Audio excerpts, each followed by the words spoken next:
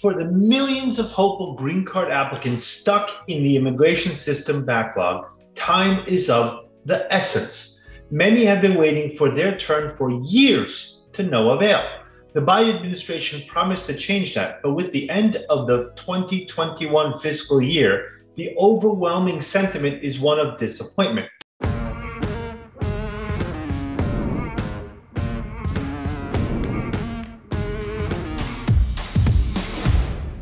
I'm Andres Mejer, immigration attorney and an immigrant myself. And in today's video, we'll be talking about how the Biden administration let over 200,000 green cards go to waste this year and how that impacts all current and potential green card applicants, including diversity lottery visa winners. We'll be discussing green card quotas, the slowing immigrant visa processing due to the pandemic, and the ensuing green card backlog as well as the resumption of the green card lottery. If you've started your immigration journey or are thinking of doing so, keep watching to learn all the facts about the backlog in green card processing and what the way forward looks like. Green card quotas. To begin, it's necessary to talk about visa caps. The US government can issue a total of 675,000 green cards every year, but these green cards don't go to just anyone or everyone. U.S. Citizenship and Immigration Services, as well as the Homeland Security Agency, that oversees requests for visas and other immigration benefits, reserves visas for certain categories. We have the family preference immigrants that are sponsored by U.S. citizens and lawful permanent residents who want to bring their families to the States. Employment based immigrants based on H 1B visas or student visas or just plain employment based green card holders that allow US employers to hire foreign workers in specialty occupations or for more permanent positions. And lastly, we have diversity visa lottery winners who diversify the pool of immigrants in the United States. And we'll talk more about them in the second half of today's video. It's a holistic group. Now, these categories don't each get the same share in the 665,000 green card pie.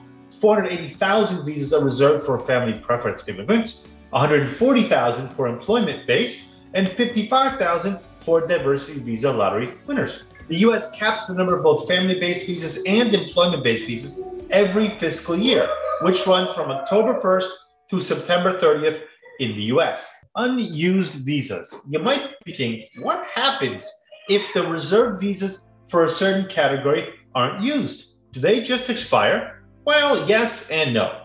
Diversity visas and employment based visas that aren't used in a fiscal year become invalid. However, unused family based visas from one fiscal year carry over and they're basically added to the cap for employment based visas for the next fiscal year. This helps increase employment based opportunities and is generally very good for the economy. So, if 10,000 family based visas were unused in 2020, they'd be added to the already reserved 140,000 employment based visas to make a total of 150,000 employment based visas in 2021. Make sense? Good. Because this is exactly what happened in 2020.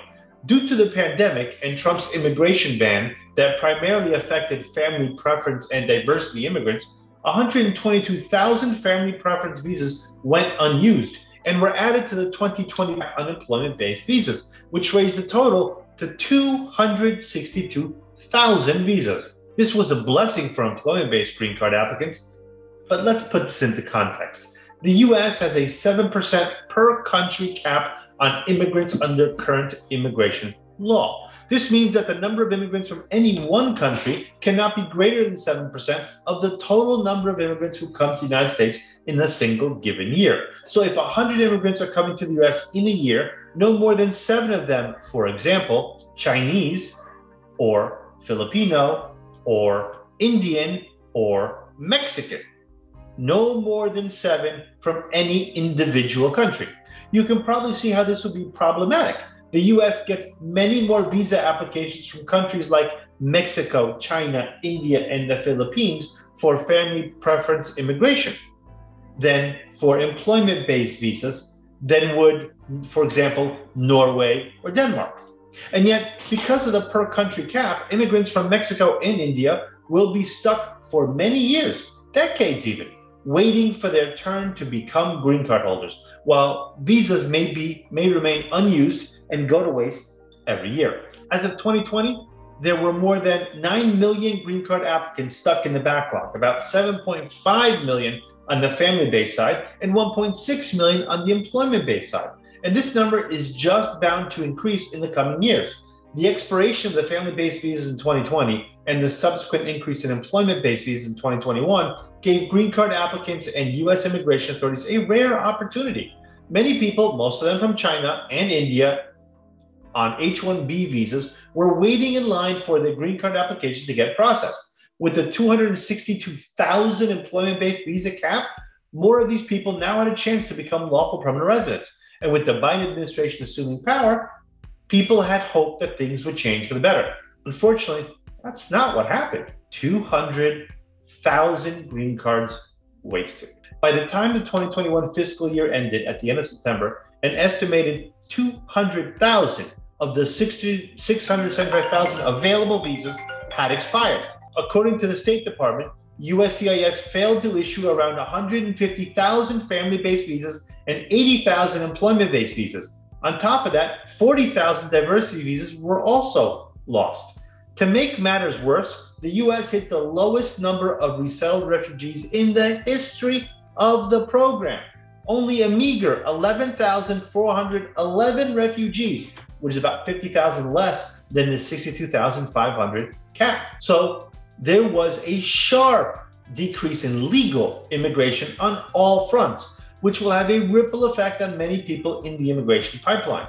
This makes for a very bleak picture of shrinking immigration opportunities. There are millions of undocumented immigrants in the US who have limited opportunities to become a naturalized permanent resident. And yet, we now see that even legal channels for immigration are becoming unfeasible. The severe backlog in visa and green card processing traps many green card applicants in limbo. And every year that visas are wasted are years that families are separated and that employees spend in, in uncertainty with the threat of deportation over their heads. The approximate 120,000 employment based and diversity visas that expired this year represent 120,000 people who will have to put their dreams on hold because of the federal bureaucracy and red tape. As for the 150,000 unused family preference visas this year, they have been added to the fiscal year 2022 cap unemployment based visas, which brings the total to 290,000 for, for this coming year, even higher than last year. Now, why did this happen? Good question.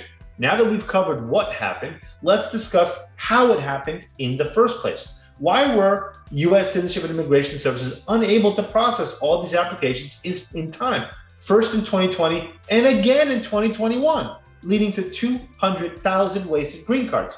Why did USCIS let the opportunity to make a dent in the backlog of employment based visa applicants go? The main culprit is obviously the COVID 19 pandemic, which slowed pro- processing both the State Department, where some consulates remain closed, and the Department of Homeland Security. Additionally, visa processing was temporarily halted when the U.S. embassies and consulates abroad closed in the wake of the pandemic and suspended visa services.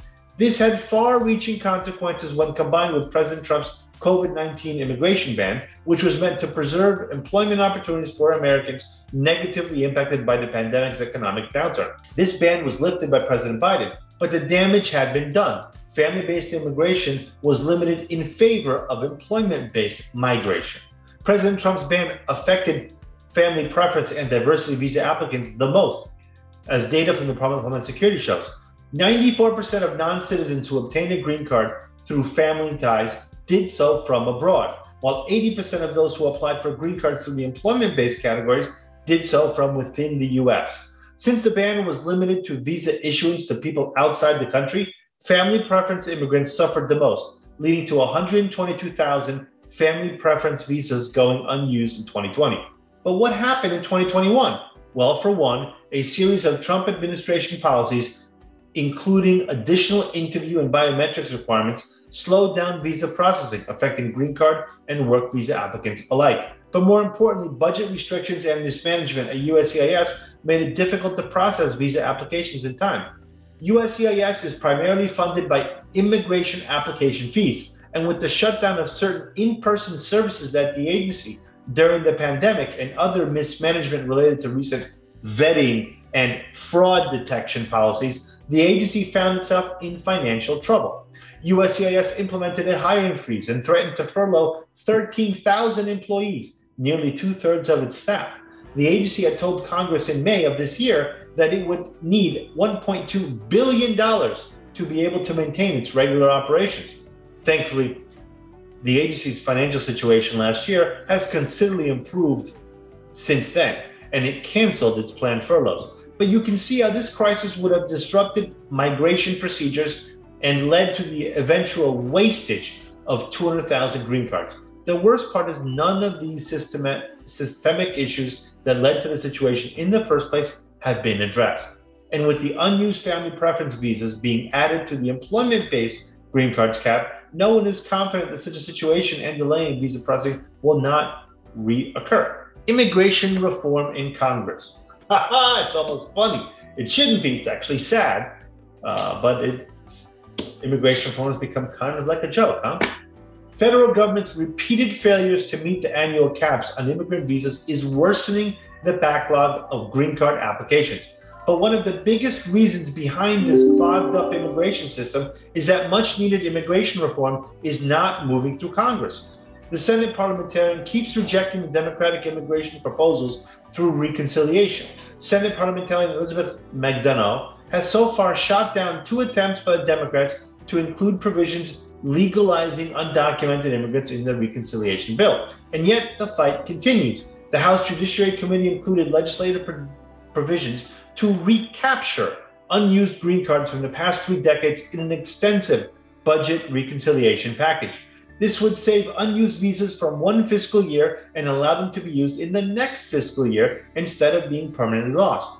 If passed, these provisions in the budget reconciliation bill would improve prospects for prospective green card applicants and the ones currently in the pipeline. And considering the 200,000 visas that just expired in the 2021 fiscal year, it would dramatically increase the number of visas available in 2022. But without congressional action, the employment based visas will remain lost. This process of visa recapture is not new to lawmakers. In 2005, Congress recaptured 50,000 lost visas from 2001 to 2004 to benefit primarily nurses and physical therapists with the Real ID Act. Therefore, there is precedent for such a reform. These 200,000 expired visas and green cards from 2021, as well as expired visas from the years before, are already congressionally authorized. Immigrants shouldn't have to suffer because of delayed processing on the administration's part and the red tape around the legal immigration process. It should come as no surprise that the House Judiciary Committee's budget reconciliation package has received support from immigration advocates but the support from other key immigration players is less than enthusiastic. Senate Foreign Relations Committee Chairman Senator Bob Menendez, one of the key players, has admitted that visa recapture is not a priority for him, especially considering that the reconciliation bill isn't adequately addressing the millions of undocumented immigrants in the country. Senator Bob Dem- Menendez, Democrat of New Jersey, told reporters that, quote, we're not going to take care of business and not take care of the 11 million undocumented immigrants in some way. He later clarified to Bloomberg government that if we're talking about recapturing visas for family backlogs, I would certainly consider that. If we're talking about getting visas so we can take care of business problems, I'm not supportive in the absence of getting anything else done. So, what does the way forward look like? Well, according to Shev Dalal-Dheini, Government Relations Director at the American Immigration Lawyers Association, of which I'm a part of, says it will be nearly impossible for USCIS to process that many green card applications without hiring more staff and further streamlining procedures. He said that, quote, unless Congress acts now and not only recaptures those visas that are lost, but fixes the statute to ensure that they don't go lost in the future, that they're preserved going forward, we're going to be right back in the same situation next year. Let's go to diversity lottery visas. Here's another group of immigrants who are suffering due to UCIS visa processing delays, the diversity visa immigrants. In recent years, hope is dimming for applicants of the diversity immigration visa. The diversity immigration visa or diversity visa, DV, is a lottery method green card grant hosted by the Department of State in the US. It serves as a unique opportunity for millions around the world to gain a permanent resident card to experience opportunities available in the United States. The Diversity visa was lobbied and passed as part of the Immigration Act of 1990. primarily targeting the lack of diversity in immigration populations coming to the US. Most of the immigrant influx before the diversity visa was from Mexico, China, and India, and other areas experienced underrepresentation. To combat this imbalance, the green card lottery was established. Occurring on an annual basis, 55,000 applicants are selected from all over the world to gain a green card to live in the United States. This move provided important benefits that were not just limited to diversity. Greater diversity in the immigration population encourages competition in the US job market and lifted wages. However, that promising venture of diversity visa has seen dark times in recent years. During the Trump administration, consequential decisions were made regarding immigration laws, particularly ones that diminish the incomes of immigrants, in order to disallow or prevent the movement of people from Muslim majority countries into the United States, also known as the Muslim ban, significantly affected the situation of hopeful applicants, turning them away. The COVID 19 pandemic had its own turbulent influence on the social and economic situation in the US, and immigration services were no exception. With embassies temporarily shut down or operating with fractured manpower, backlogging became a glaring issue in the processing of all immigration services. Another blow to the fragile situation expectant green card applicants were in President Trump's decision to halt visa grants. This order prevented prevailed until President Biden took over, and although he reversed many Trump area policies that hindered the immigration process, diversity visa applicants were neglected. In mid 2021, a few months before the 2020 fiscal year ended, President Biden ordered other immigration services to take precedence over diversity visas, effectively placing them on the lowest priority. The reason diversity visa applicants who were chosen and essentially welcomed to possess the United States green card are low spirited is due to timing. The fiscal year ends on September 30th, which is to say a couple weeks ago, and the processing of immigration applicants for the previous year, 2020, ceases. A few weeks before the deadline, some diversity visa applicants raised concerns over the slow processing speed and backlogging in the green card procedure. It was abundantly clear this was not an isolated case, as barely 13,200 diversity visas had been issued out of the 55,000 total quota. Applicants had submitted all their documentation on time, remained updated on progress reports by the immigration services, yet months later were not provided the interviews that is considered the final step in a diversity visa grant.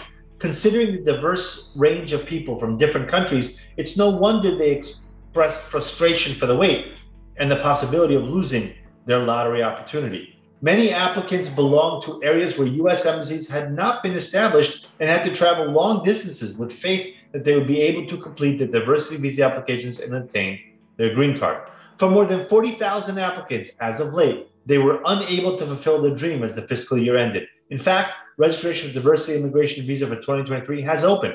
President Biden announced, and it seems the government is moving on. Diversity visas allotted for a year do not trickle into the next one if they remain undistributed, dimming the spirits of all applicants who were provided this life changing opportunity. The selected applicants of 2020 are not giving up, though, and are turning to legal action in search of justice.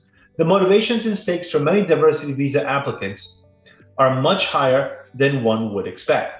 For many, it is a unique opportunity to participate in the US economy and receive fair compensation.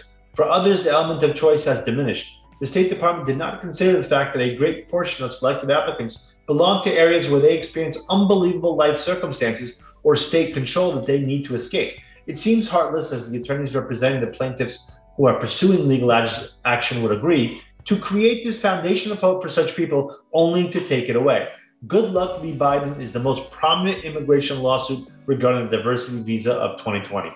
The plaintiffs compromised efforts of 24,000 selected applicants who are challenging the State Department's actions, particularly Division 4, or lowest prioritization of diversity visa processing. They are seeking redressal for the delayed processing of their applications and opening the floor to the possibility of preserving the allotted diversity visas of 2020 beyond the fiscal year's end. On September 20th, with the window of opportunity rapidly closing, the U.S. District Court had a hearing on Goodluck v. Biden and ruled that 6,914 diversity visas would be reserved until the matter is fully adjudicated and closed. This decision reestablishes faith for the selected applicants as they had a fighting chance, but the number of reserved diversity visas is still small, and unless it is increased, many plaintiffs will lose their chance at a green card. As of October 14th, no further notice has been issued by the Columbia District Court or the State Department, and the limbo continues. The fates of thousands of hopeful individuals from all over the world who wish to come to the United States remains in question. That wraps up our video for today. If this was of value to you, please consider liking and sharing with people who may find it helpful. Also, drop any immigration related questions you have in the comments below. We'll do our best to provide an answer to you. You can call us today if you want to discuss your case or need help on your green card or immigration journey, and we can find the best options in your case. Thanks for watching. Until next time, stay healthy and be safe.